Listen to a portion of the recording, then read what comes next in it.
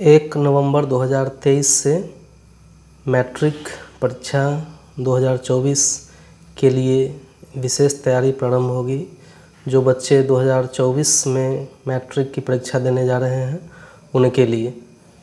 तो सभी बच्चों के पास एमबीडी गाइड होना चाहिए और अब जो पढ़ाई होगी वह एग्ज़ामिनेशन को सेंटर में रख के होगी। अर्थात इम्पोर्टेंट क्वेश्चन जो पूछे जाने वाले होंगे और उससे रिलेटेड क्वेश्चन उनकी चर्चा विशेष रूप से होगी। तो सभी लोग रेगुलर क्लास करेंगे और इसके संबंध में जो डिटेल्स जानकारी होगी क्लास में और दी जाएगी।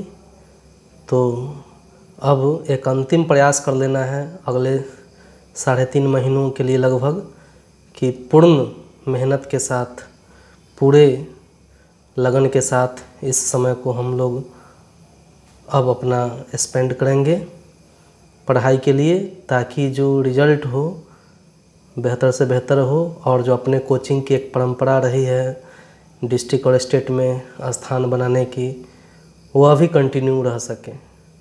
तो इसी आशा और उद्देश्य के साथ हम इस तैयारी को प्रारंभ करेंगे। थैंक्स